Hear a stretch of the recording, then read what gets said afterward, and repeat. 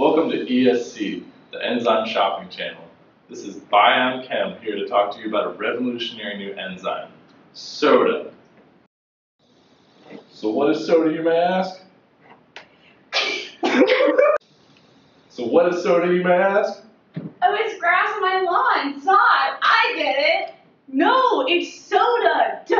Duh. I love root beer. Oh. No, you guys have it all wrong. Soda is a revolutionary new product in stores that contains the enzyme superoxide dismutase.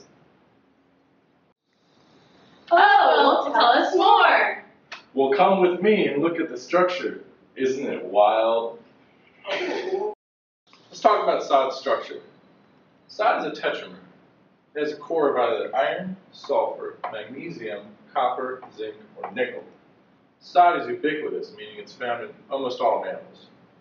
There's three types of sod, sod 1 through 3. Sod 1 is a dimer. Sods 2 and 3 are tetramers.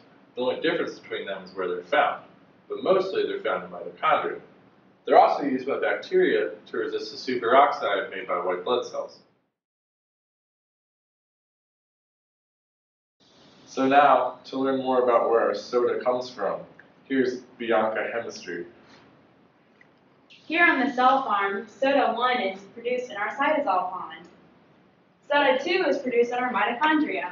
And soda 3 is produced in our extracellular space.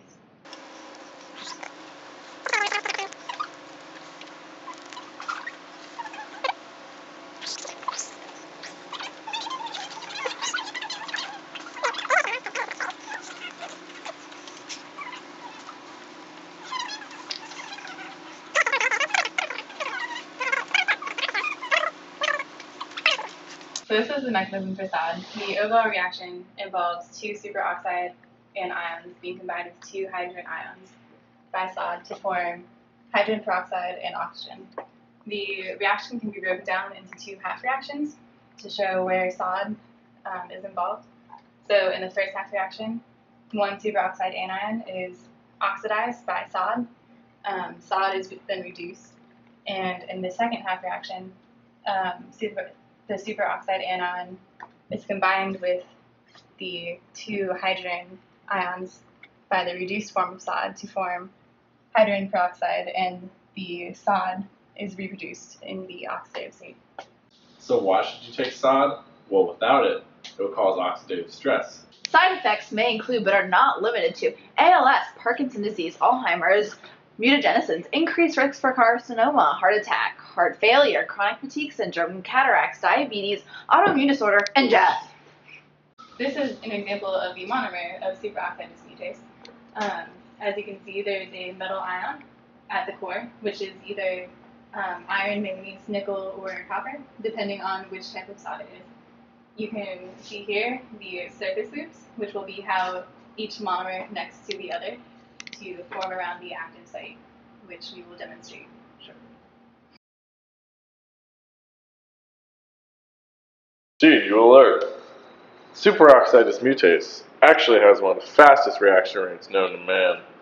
The reaction is limited only by the frequency of collision between superoxide and superoxide dismutase.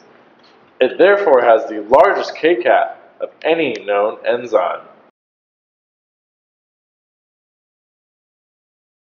This means SOD is very efficient in dismutating the harmful superoxide ion.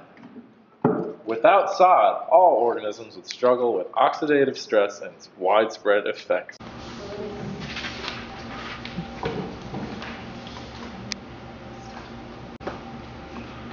And then Wait, why are you, why are. So, that's all we have for today. But please give us a call at 1 800 soda for me to order soda for only five installments in 1995. The product is going fast. Remember, there's three varieties of sod for three different locations of your body. See you next time on the Enzyme Shopping Channel.